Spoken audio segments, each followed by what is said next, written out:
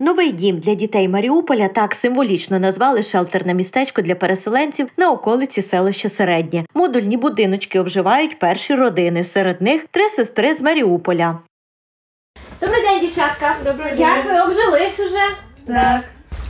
Тут наша кімната, тут я, тут я, тут старша сестра.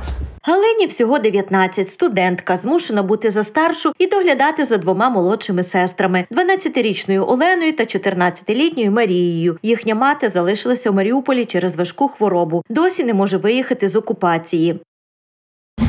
Ми більше скучаємо за мамою. Молитва. Володя, Оксана.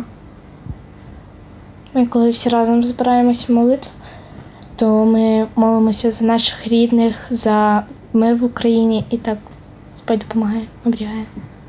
як фізичну, так і духовну підтримку, підтримку словами, допомогою. І це мені не давало здаватися. Знаю, що хтось, хтось, що є, але якщо я впаду, то є хто мене підніме. А це Ілона, теж з Маріуполя. У свої 10 років дівчинка ковтнула лиха. Щойно з татом та старшим братом заселилися у будинок поруч. Я тут живу, тут мої іграшки, тут у нас є лампа, тут я буду спати.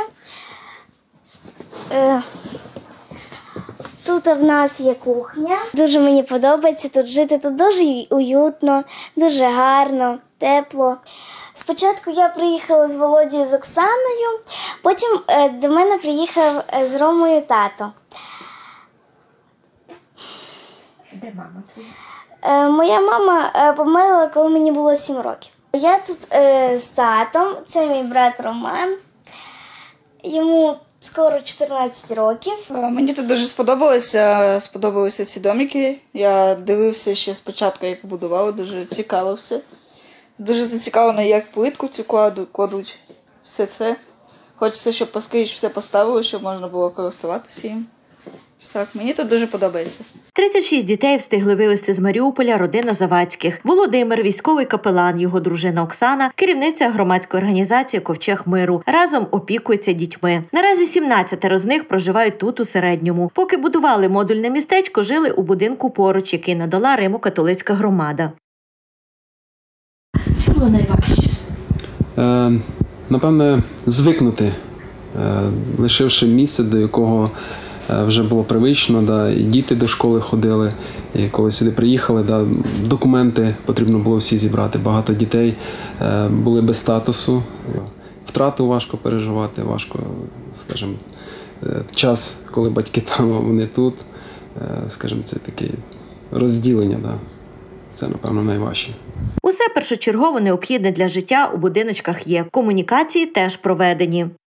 Це маємо е, таке металеве покриття, да, жестяне, і частково якби дерев'яне покриття, також такий інтер'єр будиночка. Розказуйте, що у вас тут є?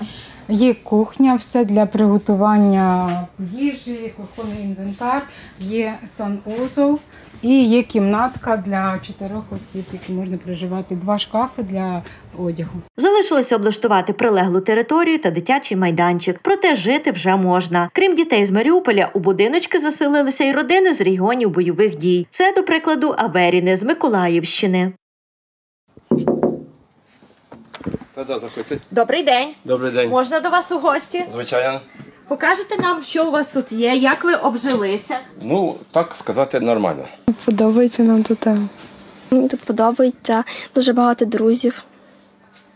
Як справляєтеся? Все ж таки не вдома, але другу домівку знайшли тут на Закарпатті. Що вам допомагає? Ти Підтримка, руки? коли хтось підтримує тебе в чомусь. Ходимо, молимося в воскресіння в час. І кожен день на, третій поверх там молитву читаємо. І сьогодні теж у нас було о 9 ранку молитва. Дідусь Юрій з донькою, двома онучками і собакою до цього жили у кількох школах. Каже, зараз умови те, що треба, не порівняти. Якщо хотіли становитися цілею, то додому треба їхати. Ну, дома, дома є вдома. А коли це буде, невідомо. Та тако по хазяйству, я пару днів, оце сказати, так, то замету, ну тут мені предлагає Володя, там на загровлі сісти можна, е, коли треба. Ну, другі роботи, я сам строїтель, то я можу і плитку ложити, і кладку, і А нема нічого, замітаю. Усі переселенці намагаються бути корисними: хто по господарству, хто по облаштуванню території, хто займається з дітьми, чим можуть. Одним словом, знайшли другу домівку на Закарпатті і живуть далі, об'єднані вірою в Бога і Україну.